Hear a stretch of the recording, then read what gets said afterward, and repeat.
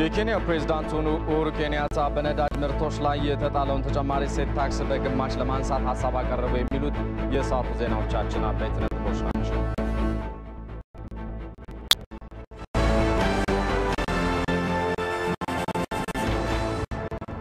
ጤና ይስጥልኝ እንደምንውላችኋል። ሰባት ሰዓት ነው አሁን። ከኢትዮጵያ ቴሌቪዥን ከሰዓቱ ዜናዎች ጋር ሰለሞን ኃይለ ኢየሱስ ነኝ። አብራችሁኝ ቆዩ። በቅድሚያም ኢትዮጵያና ኤርትራ አዲስ የሰላም ስምምነት ዛሬ ይፈራረማሉ። ጠቅላይ ሚኒስትር ዶክተር አብይ አህመድና የኤርትራው ፕሬዝዳንት ኢሳያስ አፈወርቂም ስምምነቱን ለመፈራረም ጅዳ ገብተዋል። ስምምነቱ ከሰዓታት በኋላ እንደሚደረግም ይጠበቃል። ጠቅላይ ሚኒስትሩም በቆይታቸው በኢትዮጵያና በኤርትራ መካከል ስለተደረገው የሰላም ስምምነትና ይህንን ተከትሎ በተፈጠረው መልካም የኢንቨስትመንት እድል የሳውዲ ንጉሥ ከሆኑት ንጉሥ ሰልማንና ከአልጋ ወራሽ መሐመድ ቢን ሰልማን ጋር ይመክራሉ። የሳውዲ መንግስት በኢትዮጵያና በኤርትራ የተካሄደውን ጦርነት ተከትሎ ለ20 ዓመታት የዘለቀውን አለመግባባት በሰላም ለመፍታት ሀገራቱ ላሳዩት ቁርጠኝነትና አመራር አድናቆቱን ገልጿል። ይህንን የሰላም ስምምነት በሁለቱ ሀገራት የሚኖረውን ወንድማማችነት ህዝብ ለዘመናት በጋራ ያቆየውን ታሪክ፣ ባህል፣ ቋንቋና ጉርብትና በተጠናከረ መልኩ እንዲቀጥል የሚያስችል መሆኑን ጠቁመዋል። ጠቅላይ ሚኒስትር ዶክተር አብይ አህመድ ባለፈው ነሐሴ በተመሳሳይ መልኩም የልዑካን ቡድን መርተው ወደ ተባበሩት አረብ ኤሚሬትስ በማቅናት በቆይታቸው በኢትዮጵያና በኤርትራ መካከል በተፈጠረው ሰላም ኢትዮጵያ ከተባበሩት አረብ ኤሚሬቶችና ከኤርትራ መንግስት ጋር በመሆን በወደብ ልማት በመሰረተ ልማትና በአጠቃላይ በሎጂስቲክስ ሊኖራቸው ስለሚችለው የኢንቨስትመንት ትብብር ውይይት ማድረጋቸው የሚታወስ ነው። በተመሳሳይ ሁኔታም በሳውዲ ቆይታቸው በሶስቱ ሀገራት መካከል ስለሚኖረው ንግድና ኢንቨስትመንት ትብብር የሚወያዩ ሲሆን በተለይም በትራንስፖርትና በሎጂስቲክስ፣ በወደብ ልማት፣ በቱሪዝም፣ በሆስፒታል ልማት እንደዚሁም በኢንፎርሜሽን ቴክኖሎጂ ዘርፍ ትብብራቸውን ለማጠናከር በሚችሉበት አግባብ ይወያያሉ ተብሎ እንደሚጠበቅ ሪፖርተራችን ጥላሁን ካሳ ዘግቧል። በዚህ ጉዳይ ላይ ተጨማሪ ማብራሪያ ሊሰጠን ሪፖርተራችን ጥላሁን ካሳም ከሳውዲ ጅዳ በቀጥታ የስልክ መስመራችን ላይ ነው የሚገኘው። ጥላሁን እንደምን ውለሃል? እስኪ የስምምነቱ ሂደት ምንድን ነው ይመስለው የሚለውን ብትነግረን። አመሰግናለሁ ሰለሞን። እንግዲህ ከስምምነቱ ሂደት ቀደም አድርጎ ያው ትናንትና ማምሻውን ጠቅላይ ሚኒስትር ዶክተር አብይ አህመድ ከሌሎች የሀገሪቱ ከፍተኛ ባለስልጣናት ጋር በመሆን በጂዳ አውሮፕላን ማረፊያ ሲደርሱ እንግዲህ ደማቅ አቀባበል ተደርጎላቸው በሁለቱ ሀገራት በተለይ ከሳውዲ ጋር ኢትዮጵያ ያላትን የሁለትዮሽ ግንኙነት ከዚህ ቀደም ሲደረጉ ከነበሩ የተለያዩ ተግባራት ጋር በተያያዘ በርከት ያሉ እነዚህ ውይይቶችን ነው ያደረጉት። እንግዲህ በዋነኝነት ቀደም ሲል እንደተጠቀሰው አንደኛ ሳውዲ ከኢትዮጵያ ጋር በጣም በበርካታ የልማት ስራዎች ትገናኛለች። እነዚህ ደግሞ ግን ወደ በለጠ ምዕራፍ ለማሸጋገር ያለም ነው የሚል ነው የዋነኝነት ግንኙነታቸው። በተለይም ደግሞ በዋነኝነት የዚህ ድርጊት ዓላማ ያደረገው ከዚህ ቀደም ነሐሴ አካባቢ ላይ በተባበሩት አረብ ኤሚሬትስ ላይ በነበረው የሶስትዮሽ ውይይት ላይ ኢትዮጵያ ከኤርትራ ጋር ያደረገችውን የእርቅ የሰላም፣ ሌሎች የቀጣናው ሀገራት በተመሳሳይነት ሊጠቀስ የሚችል ባሪያነት ወደፊት ቢችል በሚለውን ነው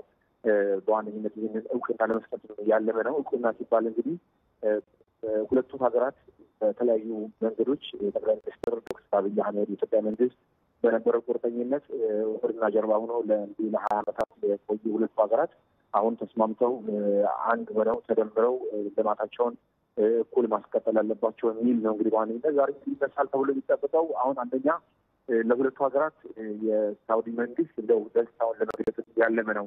በሳውዲ መንግስት አዘጋጅነት የተዘጋጀው ይህ የውይይት ወይም ደግሞ ግንኙነት ማለት ነው።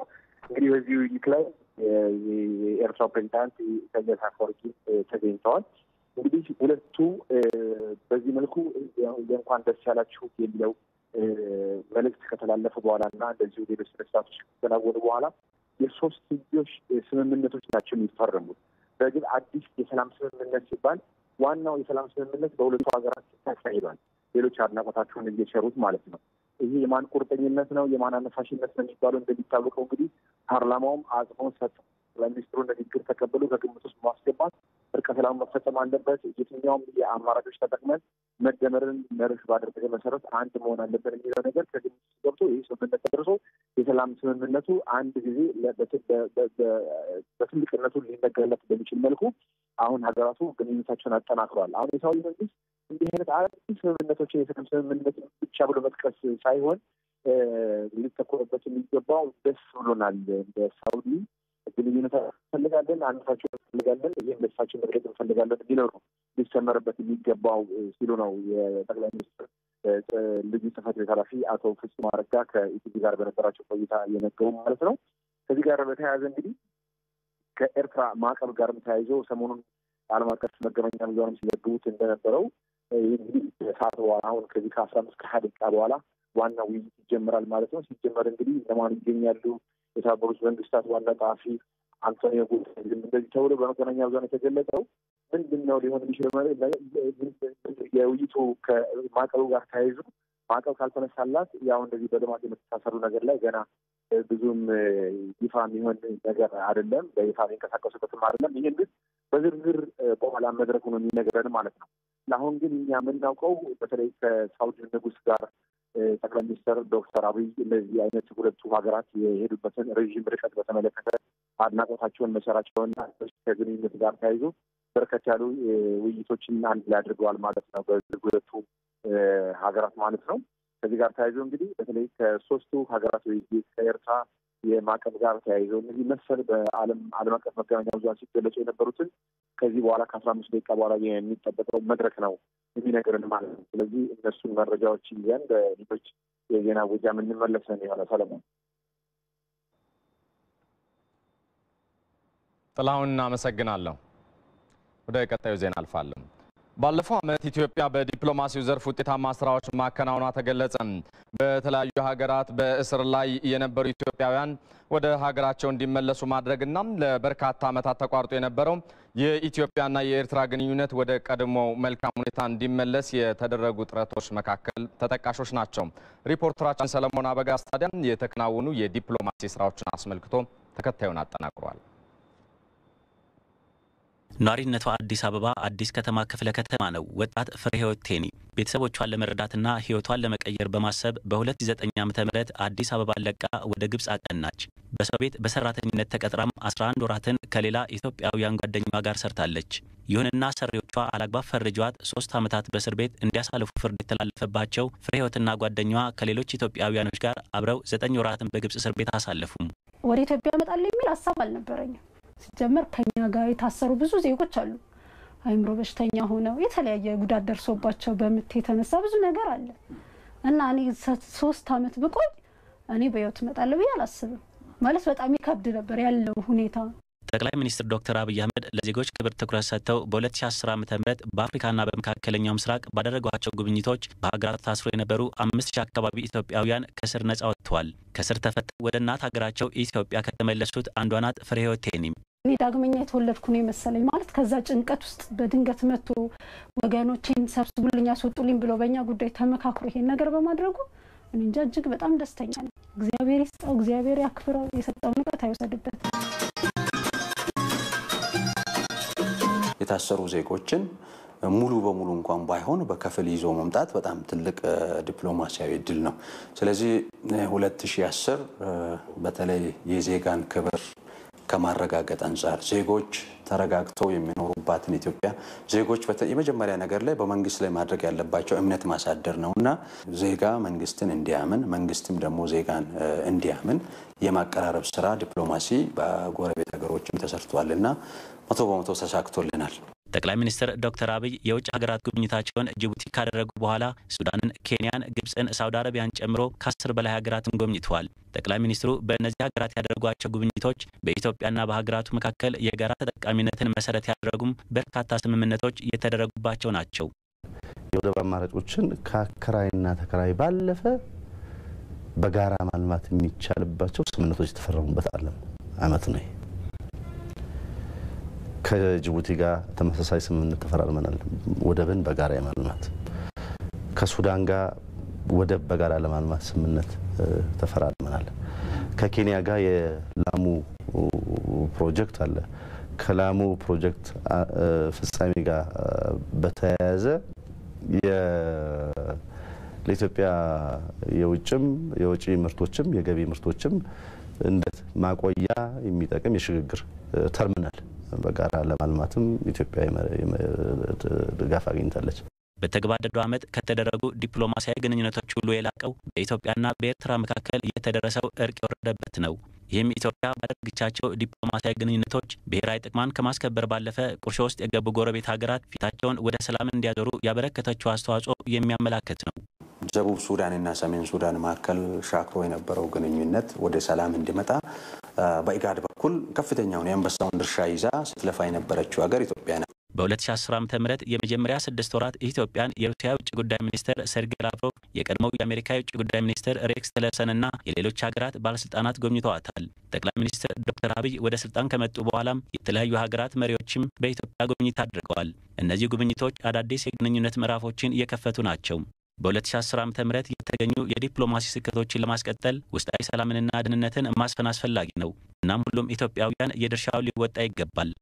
ዜጎች የዜጎችን ድርሻ ካልተወጣን ዲፕሎማሲያችንን እያበላሸን ነው ማለት ነው። ስለዚህ እኛ የአፍሪካ ድምፅ፣ የዓለም ተምሳሌት፣ ብሔራዊ ጥቅማችንንም ከፍ አድርገን ማስጠበቅ የምንችለው የመጀመሪያ እያንዳንዳችን የራሳችንን ድርሻ ስንወጣ ነው። በቅርቡም ጠቅላይ ሚኒስትር ዶክተር አብይ አህመድ በቻይና የአፍሪካ ትብብር መድረክ ላይ ተሳትፈው የኢትዮጵያንና የቻይናን ግንኙነት የበለጠ ለማጠናከር መልካም አጋጣሚ ተፈጥሯል። 2010 ዓ ም ኢትዮጵያ የአፍሪካ ድምፅ መሆኗን ያስመሰከረችበትና ከሌሎች ሀገራት ጋር አብራ የማደግን ሀሳብ ያንጸባረቀችበት ዓመትም ነበር። ከኢትዮጵያ ቴሌቪዥን በቀጥታ እየተላለፈላቸው የሚገኘው ዜናዎቻችን እንደቀጠሉ ናቸው። ከትናንት 11 ሰዓት ጀምሮ በአሸዋ ሜዳ፣ ቡራዩ፣ አንፎ፣ ከታና አስኮ የሚባሉ አካባቢዎች ላይ ዜጎች ጉዳት እንደደረሰባቸው ለኢትዮጵያ ቴሌቪዥን ተናግረዋል። ጉዳዩን አስመልክተን በቀጥታ የስልክ መስመራችን ላይ የኦሮሚያ ክልል ፖሊስ ኮሚሽነር ጄኔራል አለማየሁ እጅጉን በቀጥታ መስመራችን ጋብዘናቸዋል። ኮሚሽነር ጄኔራል ስለ ጊዜዎት እናመሰግናለን። እሺ እኔም አመሰግናለሁ። እስኪ እንግዲህ ቅሬታ አቅራቢዎቹ በርከት ያሉ ሀሳቦችን ያነሱት የክልሉ ፖሊስ ችግሩን ለምን በፍጥነት መቆጣጠር አልቻለም ከሚለው እንጀምር። እሺ የክልሉ ፖሊስ በተቻለ መጠን ችግሩ የተከሰተበትን አካባቢ ፖሊሶች እየሄዱ ለመቆጣጠር ሙከራ አድርገዋል። ግን ለምን አልቻለም ለምለው የመሬት አቀማመጥ የህዝቡ አሰፋፈርም ለዚህ ምቹ አይደለም። information ተገኝቶ ወደ ችግሩ በተከሰተበት ቦታ ሲሄዱ ወንጀለኞቹ ወይም በቡድን ተደራጅተው የሰው ህይወት የሚያጠፉ ንብረት የሚዘርፉ የመሸሽ እና የመደበቅ ሁኔታን ተፈጥሯል። ይሄ አቀማመጡ ሲሆን ችግሩም የተከሰተው አንድ ቦታ ብቻም ሳይሆን ወይ ሁለት ቦታ ብቻም ሳይሆን የተበታተነበት ቦታ መሆኑ ነው። ለሰው ህይወትም ጥፋት ወይም ለንብረት ውደም ለማውደም ምክንያት የሆነው ፖሊስ ሌሊትም ሙሉ ሳይተኛ ይህ ችግር ከተፈጠረ ወዲህ ሲንቀሳቀስ ነው የቆየው። ዞሮ ዞሮ አሁን ያለው ሁኔታ ያንን ወደ መቀቀሉ ወይም ወደ ሰላም የማምጣት አዝማሚያዎች ይታያሉ። ፖሊስ በተቻለ መጠን ግን አቅሙን አማጥቶ እየሰራ ነው የሚገኘው። እስኪ በሰዎች ላይ የደረሰው ጉዳት ምን ያህል ነው? ከዚሁ ጋር ተያይዞስ ምን ያክል ነው ንብረት የወደመው መግለጽ ይቻላል? እሱን ተጣርቶ ክሊር ብናደርግ ወይም ለሚዲያ ግልጽ ብናደርገው ይሻላል። አሁን አንዳንድ ቦታ ሆስፒታልም ገብቶ ድኖ የመጡ አሉ። ግን ቀድሞ ሞቷል ተብሎ ሪፖርት የተደረገው እና ዞሮ ዞሮ ሰፋ ያለ ህይወቱ ያለፈው። ይህንን በፍጥነት ዛሬ አጣርተን ለሚዲያ እናቀርባለን። አዎ ተጎጂዎቹ ግን ከትናንት በስቲያ ጀምሮ ችግር ሊፈጠር እንደሚችል አመላካች ሁኔታዎችን ያነሱ ነበር እና ምናልባት በእናንተ በኩል ለምንድን ነው ቅድመ ዝግጅት ያልተደረገው? ቅድመ ዝግጅት አንደኛ ችግሩ ይፈጠራል ተብሎ ከመጀመሪያውንም አልታሰበም። ለምንድን ነው መረጃውም ከሰልፉ ጋር ወይም ከሌላ ከብሔር ጋር የተገናኘ አይደለም። ተደራጅቶ የሰው ህይወትን ለማጥፋት የተደራጀ ቡድን ነው ፈጠረ የነበረው። ይሄንን ለማድረግ ከአካባቢ ካሉት ፖሊሶችም ለመጨመር ተሞክሯል። በየ group ኡም ችግሮች እንዳይከሰቱ ከፌዴራል እና even ከአዲስ አበባ ፖሊስ ጋርም ተቀናጅቶ ለመስራት ሰፊ ጥረት ተደርጓል። ዞሮ ዞሮ ግን ከችግሩ ስፋት አኳያ ስታይ ሁሉም ቦታ ገብቶ ያንን ለመቆጣጠር ትንሽ ሙሉ በሙሉ ያለመሸፈን ጉዳይ ካልሆነ በስተቀር ትኩረት ካለመስጠት ወይም ዝግጅት ካለማድረግ የምን አይደለም። በዋናነትና በወሳኙ የመሬቱ አቀማመጥ እነሱ የሰፈሩበት ወይም ህዝቡ ሁኔታም የመንገድ ችግሮችን በፍጥነት ገብተህ በመኪና በተሽከርካሪ መግባት ላይ እጥረቶች አሉ። ያ ያ ሁሉ ችግሩን ለማባባስ የሄደበት አለ። ሌሎት ግን ችግር አለበት የተባለውን ቦታ ቀጠናውን በመለየት ቡድንም በዛው ቦታ በማስቀመጥ ህብረተሰቡም ጥቆማ በመስጠት ያን ለመቆጣጠር የተቻለበት ሁኔታ አለ።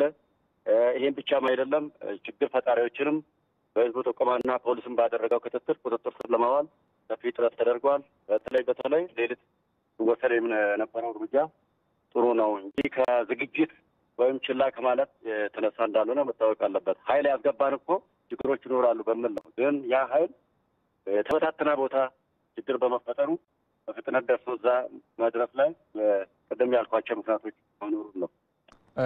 ምናልባት ግን ችግሩ አሁንም ድረስ እንደተባባሰ በኢትዮጵያ ቴሌቪዥን ቅጥር ግቢ ውስጥ መጠው ቅሬታቸውን ያቀረቡ ተጎጂዎች ይገልጻሉ እና በእናንተ በኩል የቅንጅት ስራው እንደው ምን ያህል ቢላላ ነው ይሄ ችግር የተፈጠረው የሚለውን ቢነግሩን።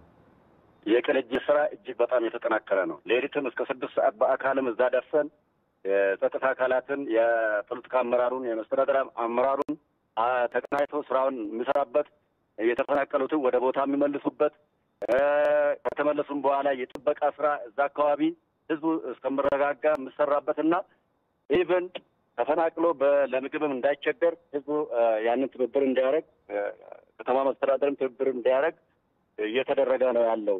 ግን ስጋቱ ያው ትናንትም ስለተፈጠረ አሁንም ሙሉ በሙሉ ችግሮቹ አልተፈቱም ከሚል የደረሰው የሰው ህይወት ስላለ ንብረቱ ስለወደመ ቅሬታ ማቅረባቸው ትክክል ነው። የሰው ህይወትን ማጥፋት ምንም ትክክል የተጎዱም አሉ። በዋናነት ግን ቅድም እንዳልኩት ምክንያቶቹ እነዛ ቢሆንም ተቀናይቶ ሌቀን ሰው ሳይተኛ የሚሰራበት ሁኔታ ነው ያለው። ህዝቡም ለዚህ ትብብር በመስጠት ወደ ቦታቸው እንዲመለሱ በየቦታው የጸጥታ አካላት በስፋት ስላሉ ያለ ስጋት ቦታቸው ላይ እንዲመለሱ ነው ጥሪ እናስተላልፋል። ምናልባት የተጎጂ ቤተሰቦችና ተጎጂዎች ከዚህም በላይ እንግልትና ጉዳት እንዳይደርስባቸው ወይም ደግሞ ተረጋግተው እንዲኖሩስ ምን እየተደረገ ነው? በዋናነት አጥፊዎችን በእናንተ በኩል ተከታትሎ ህጋዊ እርምጃ እንዲወሰድባቸው በማድረግ በኩል ያሉ ሁኔታዎችስ ምንድን ነው የሚመስለው የሚለውን ቢነግሩን። ይሄ እኮ እጅግ በጣም አሳፋሪ ድርጊት ማንንም የማይወክሉ በ group ተደራጅቶ ዘረፋ የሚያካሂዱ group ኦች ናቸው። ይሄንን በተቀናጀ መልኩ አሁን አሰሳ ተጀምሮ እየተለቀሙ ነው ያሉት። ይህ ተጠናክሮ ይቀጥላል። ሌላው ዜጎች በሰፈራቸው፣ በሀገራቸው፣ በቀያቸው የመመለስ መብት አላቸው። ይህንን በሙሉ ኃላፊነት እየሰራ ነው ያለው። በቤታቸው መግባት አለባቸው። የህግ ከለላ ይደረግላቸዋል። የፖሊስም የጸጥታ አካላት በየአካባቢ ያለው ማህበረሰብ ይብን አሁን እየተወያየ ነው ያለውና ይሄ ምንም ለጥያቄ የሚቀርብ ስራ አይደለም። ዜጎች በአካባቢያቸው፣ በሰፈራቸው፣ በሀገራቸው የማኖር መብታቸው በህገ መንግስትም የተረጋገጠ ይሄን ያደረጉት ማንንም የሚወክሉ አይደሉም። እኮ ለይቶም አይደለም ሲገሉ የነበሩት ግን ወደ ብሔር ተኮር ለማድረግ ጥረት የሚያደርጉ አሉ። ዞሮ ዞሮ ግን ይሄኛው ለጥያቄ የሚቀርብ እየተሰራ ነው ያለው ሲል ነው። የኦሮሚያ ክልል ፖሊስ ኮሚሽነር ጄኔራል አለማየሁ እጅጉ በቀጥታ መስመራችን ላይ ተገኝተው ማብራሪያ ስለሰጡ እናመሰግናለን። እኛም ሁኔታውን እየተከታተልን አዳዲስ ጉዳዮችን ለተመልካቾች የምናደርስ ነው የሚሆነው። በዚሁ ልክ እንደሚተባበሩን ተስፋ መልካም ቀን። ወደ ሌላኛው ጉዳይ እናልፋለን። በአዲስ አበባም በኦሮሚያ ልዩ ዞን አካባቢዎች በደረሰ ግጭት በሰው ሕይወትና በንብረት ላይ ጉዳት መድረሱን ጉዳት የደረሰባቸው የአካባቢው ነዋሪዎች ገለጹ። አስተያየት ሰጪዎቹ የአካባቢው የጸጥታ ኃይሎች ከጉዳት ሊታደጓቸው እንዳልቻሉም ገልጸዋል። መንግስት ጥበቃ ሊያደርግላቸው እንደሚገባም አስተያየት ሰጪዎቹ ለኢትዮጵያ ቴሌቪዥን ተናግረዋል። አስተያየቶቹን ሰናይት ንጉሴ እንደሚከተለው አጠናቅራቸዋለች። ይባረካቸው ሰዎች አሸሸጉኝና ሰዎቹም ተጨንቆ ከምሽቱ ዘጠኝ ሰዓት ህይወቴን አትርፎ ልጆቼን ይዤ ወጣሁ። ልጆቼ ላይ በእኔ ላይ የደረሰ ጉዳት የለም፣ ንብረት የለም፣ ቤት ንብረት ሁሉ ወድሟል። አንድም ነገር የለም። እግዚአብሔር እንደሚያውቀው ድርና ማግ ነው የምንሰራው። ለመቃጠል ምቹ የሆነ እቃ ስለሆነ ክብሪት ጭረው አቃጠሉ። ህዝብ እያየ መንገድ ላይ ሰብሶ አይታወቁም፣ አናቃቸውም። እኛ በብዛት ከመቶ በላይ ሆነው በየቤቱ የገቡ ቤት እቃ የለ እንዳለ ጨርሷል። ምን አደረግን? አንድ አይደለንም ወይ? ይኸው ተዋልደናል። ንብረት የሚባል ነገር ምንም የለም። የጸጥታ ፖሊሶች ነበሩ። እራሴ ደውዬላቸው የኦሮሚያ ፖሊስ ኮሚሽን ድረስ ሄጄ ደውያለሁ። ያለ ደግሞ ጎረቤቴ አንድ ፖሊስ አለ። ኧረ በእግዚአብሔር ብዬ እርሱን ነገር ፖሊስ ደውለው ይመጡና ከዛ ሲመጡ እነሱ በምን እንደሚነግሯቸው አላውቅም። በቋንቋቸው ሲነግሩ ተበትነው ይሄዳሉ። ከዛ ዞሮ ፖሊስ በዚህ ጋር ሲመጣ እነሱ በዚህ ጋር ዞሮ ይመጣሉ። ይህን መጠበቅ እሺ፣ አንድ ሁለት ፖሊስ ቢኖር እኮ እኛ ሰላም እንኖራለን። ፖሊስ ይርካ እንዳም ይረ ፖሊስ በረርስ ባሽን ፖሩድካ ይኸው የመጣውን ፖሊስ ፖሊስ መጥቶ ነበር የመጣው ለነፍሳቸው ከመሻሽ በስተቀር እኛን አላተረፉልንም።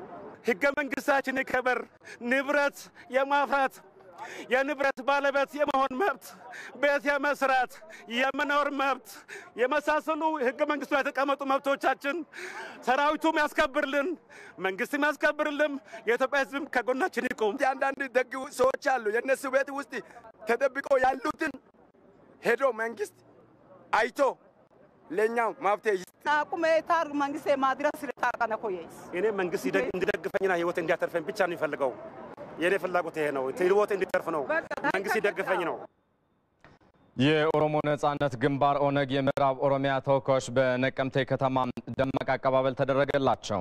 በአቀባበል ስነ ስርዓቱ ላይ አባገዳዎችና የተለያዩ የማህበረሰብ ክፍሎች እንዲሁም የከተማዋን የመንግስት አካላት የተገኙ ሲሆን በአቀባበሉ መደሰታቸውን የግንባሩ ተወካይ ገልጿል። ሀምራዊት ብርሃኑ ተጨማሪ አላት።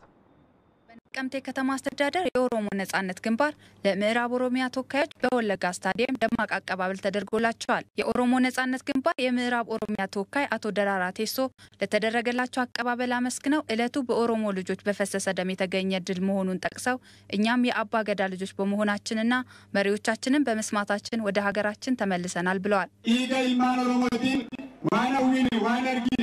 ቄሮች በከፈሉት መስዋዕትነት ያገኘነው ድል የኦሮሞን ነጻነት ለማስቀጠል እኛ የአባ ገዳ ልጆች አንድነታችንን በማጠናከር ምሁራኖቻችንን በመስማትና በመደማመጥ አብረን እንድንኖር መልእክቴን አስተላልፋለሁ። የግንባሩ ተወካይ አቶ ደራራ ቴሶ ኦነግ አንድን መሳሪያ ሳይተኩስ በሰላም ወደ ሀገሩ ሊገባ የቻለው እርስ በራሱ በመደማመጥና ውጣ ውረዶችን በማለፉ ስለሆነ ይህንንም የተገኘውን አንድነትና ሰላም አብዝቶ ለህብረተሰቡ እንደሚሰራም ተናግረዋል።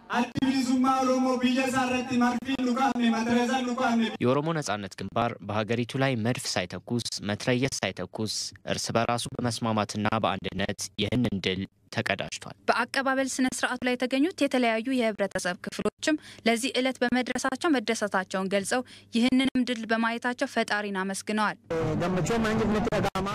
ዛሬ በጣም ደስ ብሎኛል። ትላንት በኦነግ አባላት ላይ የተፈጸመባቸው ጭቆና አልፎ ዛሬ ባንዲራውን ይዘን አደባባይ በመውጣታችን የተለየ ስሜት ፈጥሮብኛል። ይህንን በአይናችን በማየታችን ለአምላክ ምስጋና ይድረሰው እላለሁ። ነገኝ ብየ ኬኛ ጫላት ያከኒ ምርከናው አብዲ ጉዳን ቀባ የሀገራችን ሰላም ይበልጥ እንደሚሰፍን ተስፋ አለኝ። ዛሬ ወደ ህብረተሰቡ እየተቀላቀሉ የኦነግ አባላትም እንደ ጠላት ሳይሆን ለሀገር የሚያስቡ እንደሆኑ ነው የማስበው። እነሱም የበኩላቸው እንደሚወጡ ተስፋ አድርጋለሁ። በአቀባበል ስነ ስርዓቱ ላይ የነቀምቴ ከተማ አባገዳዎች፣ የአገር ሽማግሌዎች፣ ቄሮች፣ የከተማው የመንግስት አካላትና የተለያዩ የህብረተሰብ ክፍሎች ተሳትፈዋል። ዘገባው የነቀምቴ ከተማ አስተዳደር የመንግስት ኮሚኒኬሽን ጽህፈት ቤት ነው።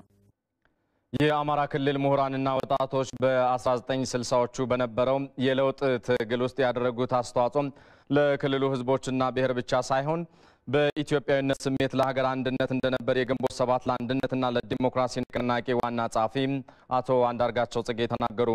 ለግንቦት ሰባት አመራሮችና አባላት ትናንት በባህር ዳር ስቴዲየም በተደረገው አቀባበል የንቅናቄው ዋና ጸሐፊ አቶ አንዳርጋቸው ጽጌ ራሳቸውን ከአማራ ማንነት ጋር እንጂ ከዘር ጋር ያላገናኙ ኢትዮጵያውያንን ያነገቡ ሰማዕታት ከፍተኛ መስዋዕትነት መክፈላቸውን አስታውሰዋል። ኢትዮጵያ ታላቅ ሀገር ናት። ኢትዮጵያ የአፍሪካና የጥቁር ሕዝቦች ሁሉ የነጻነት ምሳሌ ናት። ረጅም ዘመን ያስቆጠረ ታሪክ ያላት ናት። ሆኖም ግን በ1960ዎቹ ላይ የነበረው የኔ ወጣት ይሄን ታላቅነቷን የሚመጥን የህዝብ ብልጽግና ያለባት ህዝብ ፍትህ የሚያገኝባት ነጻነት የሰፈነባት አገር አይደለችም ብሎ ባመጸበት ሰዓት ላይ ግንባር ቀደም የሆነውን አመፅ የሞላው በዛን ዘመን ከየትኛውም አካባቢ ካለ ህዝብ ቁጥሩ የበዛው የአማራ ምሁርና ወጣት ነበር። እንደ ሪፖርተራችን ስመኛው ይርዳው ዘገባ አቶ አንዳርጋቸው ጽጌ በአሁኑ ወቅት የብሔር ፖለቲካ ለኢትዮጵያ አዋጭ አለመሆኑን ተናግረዋል። የአማራ ህዝብ በዋነኛነት ሌሎችም የወረኛ ዘረኛ አካሄድ አደገኛ መሆኑን የተረዱ ሌሎች የኢትዮጵያ ህዝቦች ዘረኝነቱ ቅስሙ ተሰብሮ አንገቱ በደፋበት ሰዓት ላይ በድል የኢትዮጵያዊነት ስሜትና ባንዲራ በሚወለበልበት ሰዓት ላይ መስዋዕትነት የከፈለለትን ኢትዮጵያዊነት አጥብቆ ወደፊት ይገባል እንጂ የወደቀውን ዘረኛ እምነትና አመለካከት ከወደቀበት አፈር ልሶ ቀና የሚያደርግ ዘረኛ እምነት ሊኖረን ፈጽሞ አይገባም። አትርሱ። ስለ ኢትዮጵያዊነት ስናወራ የአማራው ኢትዮጵያዊነት ጋሻ መከታ መሸሸጊያ መሆኑን የሚያምኑ ከሁሉም ብሔሮች በላይ ቁጥራቸው የተደመረ አጥንትና ደም ግን ሲቆጥሩ እዚህ እና እዛ የሚባል ዘር መግባት የማይችሉ በሚሊዮን የሚቆጠሩ ወዳጆች ኢትዮጵያውያን የሚተማመኑበት በእናንተ ላይ ነውና ጥንትም ተማምነዋል። ዛሬም አታሳፍሯቸው። አዲሱን ዓመት የ2011 እቅዳቸውን ለማሳካት በሚያስችል ተስፋ እንደጀመሩት ኢቲቪ ያነጋገራቸው የባህር ዳር ከተማ ነዋሪዎች ተናገሩ። ሰላምና ፍቅርን ለሀገራቸውና ሕዝቦቿም የተመኙት ወጣቶቹም ህብረተሰቡ ለሰላም የድርሻውን እንዲወጣም ጠይቀዋል። ራሄል ፍሬው ከስፍራው ተከታዩን ዘገባ ልካልናለች። ሀገሬ ደጉ ትባላለች። በባህር ዳር ከተማ በሊስትሮ ሙያ የተሰማራችው ወጣት አዲሱ ዓመት ከጅምሩ ሰላማዊና ለስራዋ ምቹ በመሆኑ ህፃን ልጇን ለማሳደግና ለቁም ነገር ለማድረስ በትልቅ ተስፋ እንደጀመረችው ትገልጻለች። አመቱን የጀመርኩት ደስ ላይ ነው የጀመርኩት። ለምን የጀመርኩት ምክንያቱ ደስ ያለኝ ምክንያት ማለት ነው የበፊቱ አመት በቃ ብዙም ባያስደስተኝም በቃ እንደዚህ በቃ እንድሰራ ስላቋቋመኝ አሁን ደግሞ የበለጠ ይሆንልኛል ብዬ ስላሰብኩኝ በቃ እንደዚህ ደስ ብሎኝ እሰራለሁ፣ እንቀየራለሁ ብዬ አስባለሁ። እኛ አሁን የዕለት ጉሮሮ ገዝተን ነው የምንበላ። ደረቅ እንጀራም ሆነ ዳቦም ሆነ ገዝተን ነው የምንበላ እና የዛኔ ወጠን ራሱ እንዳንገዛ እንዳንበላ ነው የነበር። አሁን ማለት ነው ደስ የሚል ነው ያሁኑ ማለት ነው ደስ የሚል ነው። እንኳን ገዝተን እየሰርተን እየበላን ነው። የዛኔ እንሞት ነበር፣ ከቤት ተዘግተን እንሞት ነበር። አንደኛ እዛ ቤት ተዘግተንም ያ ቤት አከራይ አምጪ ይለኛል። የት አመጣለሁ ስል ሜዳ ላይ ወድቄ ሙቼ ነበር የምቀር አሁን ሰላም ስላለ ከምንም በላይ ሰላም ስለሆነ ደስ ብሎኛል። ባልሰራም ደስተኛ ሆኜ እሄዳለሁ። ለምን ሰላም ሁኜ ልጄንም እኔንም ሾክ ሳይወጋን አገሩ ሁላ ሰላም ሆኖ ስለሚገባ ደስ ብሎኝ ነው የምገባ። እንደ ወጣት ሀገሬ ሁሉ አዲሱን ዓመት በመልካም ሁኔታ እንደጀመረው የነገረን የሁለተኛ ዲግሪ ተመራቂው መምህር እሱ ባለው ይርዳው ዓመቱ ተስፋውንና ውጤቱን የሚተገብርበት ገቢውን ለማሳደግና ቤተሰቡን የተሻለ ኑሮ ለማኖር በተሰማራበት መስክ ስራ በመፈለግ ላይ መሆኑን ይናገራል። ያው አመቱ እውነት ለመናገር በጣም እጅግ ደስ የሚል አመት ነው። የዘንድሮ አመት በተለይ 2010 ያቀድኳቸውን እቅዶች ሞላ ጎደል ያው ለማሳካት ሞክሬ ያለው አሁን ይህን አዲሱን አመት በአዲስ ተስፋ ነው 2010 ላይ እኔ እንግዲህ ያው የተማርኩበት peace and conflict resolution study ነው ብዬሻለሁ። በሱ ዘርፍ ላይ ያው ሙያው እንትኑ አይወጣም ቦርድ ላይ ብዙ ጊዜ ሳየው እንጂ ቢወጣ በሱ ተሳትፌ የበኩሌን የተማርኩትን ባበረክት ደስ ይለኛል። ነገር ግን የዚህ በተጨማሪ ያው የመምህርነት ሙያ እዚህ በፊትም ልምድ አለኝ። civics and ethical education መምህርም ሁኜ ሰርቻለሁ። maybe አሁን የመምህርነት ሙያ ካገኘው አሁን እቀጥላለሁ። በተለይ መምህርነት ሙያ በጣም ደስ ስለሚለኝ ማለት ነው። አዲሱን ዓመት በተስፋ የጀመሩት ወጣቶቹ ህልማችን እውን ለማድረግ የሚያስችል እቅድ እንዲኖረን ያስቻለው ሀገራችን በተረጋጋ ሁኔታ ላይ መገኘቷ ነው። ይህንን ሰላምና መረጋጋት ሁሉም እንዲጠብቀው ለሀገራቸው የሚመኙት ትልቁ ምኞታቸው መሆኑን ይገልጻሉ።